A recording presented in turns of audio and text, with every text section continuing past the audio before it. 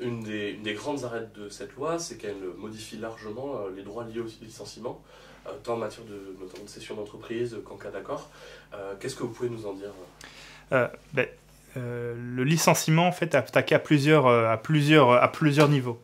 D'abord, et c'est peut-être le plus grave, la loi affaiblit la protection contre les licenciements injustifiés. Donc, pour faire un peu un, schéma de, un schéma de l'état actuel du droit, il y a plusieurs types de licenciements. Euh, il y a les licenciements injustifiés. C'est quand euh, il n'y a pas de motif euh, qui justifie le licenciement, soit que euh, on est par exemple sur un licenciement disciplinaire où la faute n'est pas assez grave, ou encore quand on est sur euh, un, licenciement qui tout simplement n'a pas de motif. Euh, Ce qu'on reproche aux salariés est faux, il n'y a pas de motif économique, tout ça. Et il y a un deuxième type de licenciement, c'est le licenciement nul. Ça, c'est encore un autre cas de figure, c'est le licenciement où on viole directement un texte, soit parce qu'on a violé une liberté fondamentale du salarié, soit parce qu'on l'a discriminé, soit parce qu'on l'a harcelé. Euh, c'est des licenciements beaucoup plus graves. Et en fait, euh, je vais vous montrer que cette loi affaiblit les deux types de licenciements, les salariés dans ces deux types de cas. Alors d'abord sur euh, les licenciements qui sont injustifiés. Aujourd'hui, la façon dont sont protégés les salariés, c'est que le salarié qui est licencié sans motif hein, réel et sérieux a le droit à des dommages et intérêts qui sont fonction de son préjudice réel. En fonction de, bah, de ce qu'on perd, de la perte de salaire, du temps qu'on est resté au chômage, de tout ça. Et si jamais le salarié a plus de deux ans d'ancienneté et que l'entreprise compte plus de 10 salariés, automatiquement, le salarié a le droit à au moins 6 mois de, de salaire à titre de dommages-intérêts. Et ça, c'est euh, quelque chose d'essentiel, à la fois pour dissuader les entreprises de licencier n'importe comment. Euh, un licenciement, ça se prépare parce que ça a un coût, parce qu'il y a une sanction derrière si on, ne, respecte pas. Et surtout, ça fait en sorte que le salarié est assuré, quand il conteste son licenciement, que ça vaudra le coup. S'il gagne, il aura nécessairement plus que ce qu'il aura euh, payé comme euh, frais de procédure et avec tous les temps d'attente qu'il y a. Le projet de loi, il attaque le licenciement injustifié en faisant en sorte qu'il supprime radicalement les six mois. Donc il n'y a plus de minimum de dommages et intérêts. Désormais, on peut avoir, en théorie, quasiment zéro. Donc tout est, négociable, tout est, possible. Il n'y a plus de minimum. Et surtout, on crée un maximum de dommages et intérêts. En dessous de deux ans d'ancienneté, le maximum de dommages et intérêts qu'on pourra avoir, c'est trois mois de salaire. En- Entre euh, deux ans d'ancienneté et cinq ans d'ancienneté, le maximum qu'on pourra avoir, c'est six mois de salaire. Avant, on avait 6 mois minimum, maintenant, on aura 6 mois maximum. Entre euh, 5 ans et 10 ans d'ancienneté, on aura au maximum 9 mois de salaire. Et au-delà, euh, entre 10 ans et 20 ans d'ancienneté, on aura euh, 12 mois de salaire maximum. Et au-delà de 20 ans, on aura au maximum 15 mois de salaire.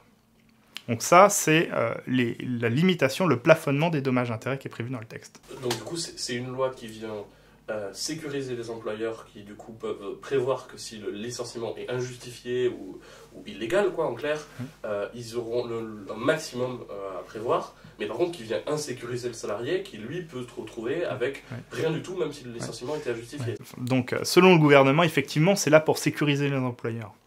Il y a cette, cette idée très libérale qui est de dire si on fait en sorte que comme ça les employeurs sachent que ça leur coûte au maximum un licenciement injustifié, ils vont recruter. Mais sauf que cette idée, en réalité, elle ne repose sur rien. Il n'y a aucune statistique sérieuse qui a été faite pour démontrer qu'il y avait une quelconque causalité, une quelconque conséquence à la simplification des licenciements sur euh, la question de l'emploi.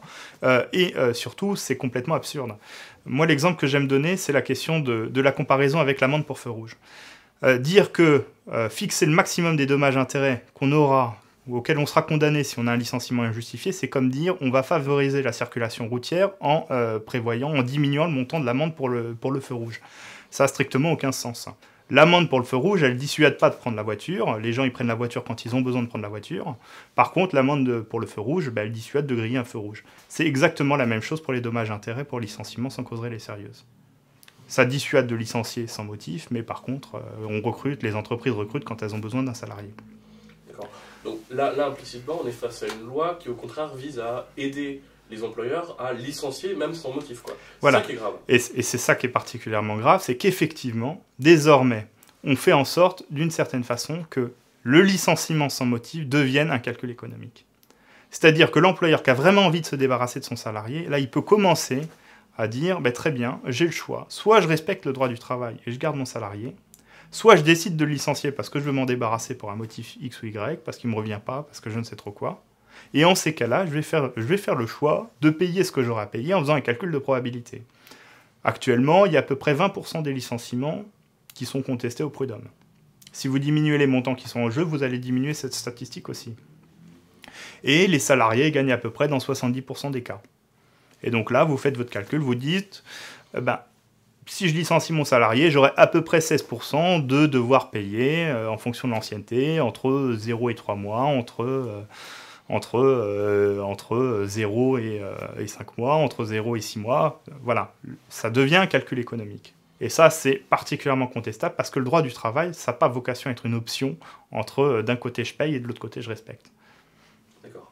Et le, le, problème que ça pose aussi, j'imagine, c'est que du coup, ça voudrait dire que demain, si cette loi passe, même en CDI, on n'a aucune sécurité de l'emploi, on peut se faire virer du jour au lendemain, oui. c'est ça? Oui, et c'est effectivement le, le, gros point noir, c'est qu'en fait le droit du travail, le droit du licenciement, c'est le cœur du droit du travail. Tout le droit du travail repose sur le droit du licenciement. Parce que vous pouvez avoir tous les droits du monde, si jamais vous avez le risque d'être licencié sans motif, vous n'avez pas de sécurité de l'emploi, vous ne pouvez pas les exercer. Quand on dit aux salariés qui peuvent donner, choisir de travailler le dimanche ou choisir de ne pas travailler le dimanche, si derrière l'employeur il peut licencier sans motif, c'est comme si vous n'avez pas le droit de dire non. Euh, et ça, c'est euh, l'affaiblissement de tout le droit du travail. Et euh, c'est important de voir que 90% des prud'hommes aujourd'hui, c'est des, des, des, litiges qui portent sur la rupture du contrat de travail. Parce que pour qu'un salarié aille au prud'homme, il faut qu'il ait intérêt à y aller. Il faut qu'il ait intérêt à y aller d'un point de vue financier. Donc il y va au moment de la rupture du contrat de travail, et à l'occasion, il demande des heures supplémentaires, il demande des choses avait, auxquelles il avait le droit de prendre dans la relation de travail. Détruire le droit du licenciement, diminuer les montants qui sont en jeu, c'est faire en sorte que le salarié ne soit plus en mesure de faire respecter tout le reste des droits. Et ça, c'est particulièrement grave. Et il y a un deuxième aspect qui est aussi très grave dans la philosophie de cette mesure, c'est qu'en fait, ce que nous explique le gouvernement, c'est que limiter, plafonner les dommages-intérêts, c'est une politique de l'emploi parce que ça crée de l'emploi. C'est complètement faux, je, l'ai déjà dit tout à l'heure. Mais euh, surtout, c'est quoi? Ça veut dire quoi? Ça veut dire qu'un salarié qui est licencié et qui a un préjudice qui est relativement faible. Par exemple, un salarié qui avait peu d'ancienneté, qui est licencié, qui retrouve très rapidement du travail avec un salaire supérieur à ce qu'il avait avant. Bon, dans ce cas-là, le licenciement est limité. Et donc, sur le principe, quand vous avez un plafonnement à 6 mois, par exemple, le salarié peut avoir une réparation de l'intégralité de son préjudice. Par contre, le salarié qui est dans une situation absolument catastrophique, j'ai eu un dossier comme ça que j'ai défendu, où euh, c'est un salarié qui était dans une grande chaîne de télé, un journaliste, euh, qui a été pendant euh, 7 ans à faire euh, en CDD. Il était appelé, il était appelé au sifflet. on lui faisait signer, il a signé des centaines de CDD. Un jour, on l'envoyait dans le Nord, un jour, on l'envoyait en Corse, un jour. Et du jour au lendemain, comme ça, il y a une rupture de son contrat parce que parce que y a, il, se chamaille avec un directeur d'agence. Il s'engueule avec un directeur d'agence. Et eh bien, tout ça, on peut faire requalifier en contrat durée indéterminé. Là, ça devient un licenciement sans cause réelle et sérieuse. Et ben, notre salarié, euh, il est resté pendant plusieurs années au chômage derrière. Il a été obligé euh, de rentrer en province chez ses parents parce qu'il n'y avait plus de quoi payer son logement. Ben, lui, il a eu des dommages intérêts importants. Mais sauf qu'avec le plafonnement, lui, c'est lui qui déplace le plafond. Donc en d'autres termes, le principe du plafonnement, c'est de dire que c'est les salariés qui sont dans la plus grande précarité après un licenciement injustifié, qui vont financer la politique de l'emploi, la sécurisation des employeurs, alors que ceux qui ont un préjudice plus faible, eux, auront sur le principe droit à une réparation intégrale. Donc ça, c'est la théorie. Et la pratique, et c'est là aussi qu'il qu faut démonter le, discours gouvernemental, parce que ces derniers temps, euh, vous avez, peut-être constaté sur Internet, le gouvernement n'arrête pas de, multiplier maintenant les vrais faux, etc., en disant, euh, d'accord, il y a 700 000 personnes qui ont signé la pétition, mais eux, on leur ment, euh, ils ne sont pas informés, etc. Ça, là-dessus, il faut vraiment euh, aller vérifier, parce que euh, le gouvernement fait une grande opération de désinformation. Quand le gouvernement vous dit ça aura aucune conséquence parce que les plafonds qu'on a fixés, c'est la moyenne des condamnations. Déjà, leurs statistiques, elles reposent sur du vent parce qu'elles ont été faites de façon très très contestable euh, sur une année, sur un nombre d'échantillons, sur un échantillon très faible. Bon, euh, on va pas rentrer dans le détail. Mais surtout quand on vous dit ça aura pas de conséquences parce que le plafond on le met à l'endroit où c'est la moyenne actuellement. C'est ne pas voir que si c'est la moyenne actuellement, c'est parce qu'il y a des condamnations qui sont supérieures. Donc, mécaniquement, quand on fixe le plafond à l'endroit où il y avait la moyenne, ben, on diminue tout le reste. Et surtout, quand on supprime le, minimum, on fait, diminuer tout le reste. On fait diminuer la moyenne. Euh, c'est ne pas voir qu'un prud'homme, c'est c'est un, un, un, une juridiction qui est composée de deux salariés et de deux employeurs. Les deux salariés et les deux employeurs doivent se mettre d'accord pour fixer le montant des condamnations. Les employeurs, systématiquement, quand la négociation s'engage, ils disent Nous, ce qu'on veut, c'est les six mois minimum. Et les salariés, eux, bah, ils, défendent, ils défendent plus et on, essaye de trouver un juste milieu. Avec le plafond qui va être fixé, la suppression du plancher, qu'est-ce qui se passe? Quand vous aviez avant 6 mois minimum et que bah, les salariés pouvaient dire nous on estime que c'est 12 mois, nous on estime que c'est 15 mois, il y avait, un entre-deux. Désormais, quand il y a le plafond qui est à 6 mois, bah, les salariés ils pourront demander 6 mois, les employeurs ils vont dire nous on estime que c'est un mois et on aura quelque chose qui sera entre les deux. Donc une vraie diminution des sommes qui seront allouées aux salariés. Et euh, accessoirement, un autre point qui mais qui est important à souligner, c'est que quand on fait tout dépendre de l'ancienneté, on pénalise les jeunes. Parce que les jeunes, ils arrivent sur le marché du travail, ils n'ont pas 20 ans d'ancienneté, ils n'ont pas 10 ans d'ancienneté. Ils sont dans cette espèce de phase qui est le, sas de précarité, où pendant 5 ans, ils vont enchaîner les petits boulots. Derrière, ils auront des emplois où ils n'auront pas forcément tellement d'ancienneté. Et eux, ça veut dire que concrètement, ils ne pourront pas faire respecter leurs droits, parce que s'ils vont au prud'homme, ce sera toujours pour, pour des sommes. Quand c'est plafonné à 3 mois, vous voyez, euh, euh, le, le milieu qui sera trouvé sera peut-être un mois, un mois et demi, mais pour un mois, un mois et demi de salaire, euh, ben, malheureusement, ça vaut pas le coup d'aller au prud'homme.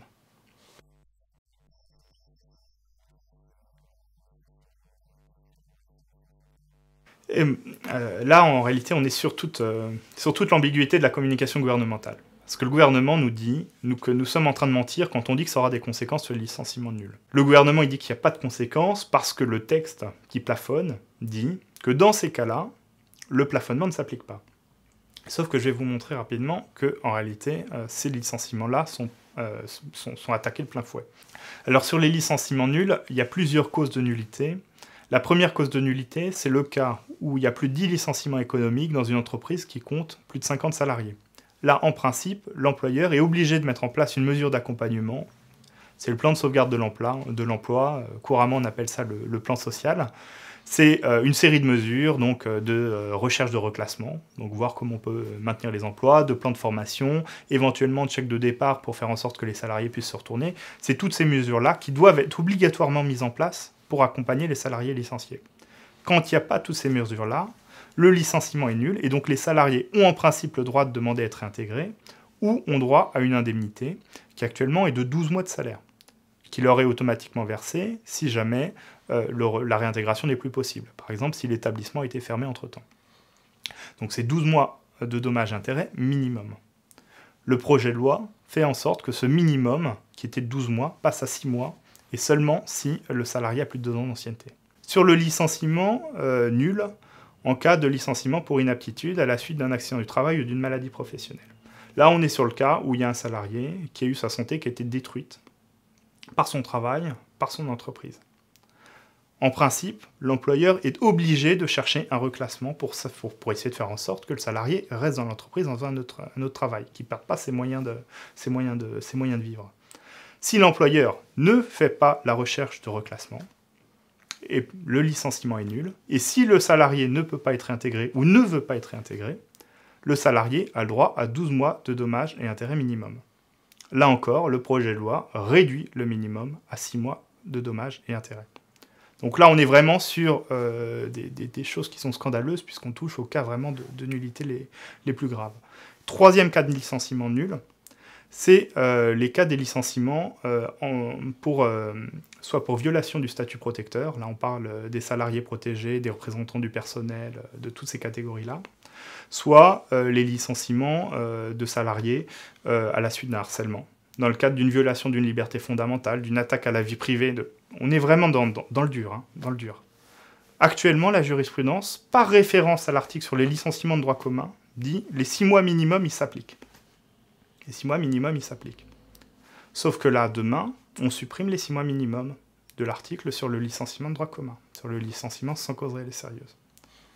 Ce qui fait que derrière, sauf pour les licenciements discriminatoires où il y a une disposition spécifique, on a le risque que les salariés n'aient plus le droit aux 6 mois de dommages intérêts minimum. Donc avec les licenciements nuls, ce qu'on est en train de voir, c'est que pour les, causes les plus euh, scandaleuses de licenciement, quand l'employeur n'a pas respecté la loi, qui s'est attaqué directement salarié sans raison ou que le salarié, par exemple, a été devenu infirme à cause du travail, ben dans ces cas-là, le salarié, demain avec la loi El a moins de droits qu'aujourd'hui, c'est ça? Oui. Donc sur le principe, il n'y y a toujours pas de plafond. Donc le salarié peut toujours avoir une réparation intégrale, mais il n'a plus le minimum forfaitaire qu'il avait auparavant, qui détermine beaucoup la négociation qu'il y a entre les conseillers prud'hommes pour fixer le montant des dommages-intérêts. Donc effectivement, les salariés sont attaqués, contrairement à ce qu'explique le gouvernement sur, euh, sur tous les plateaux télé.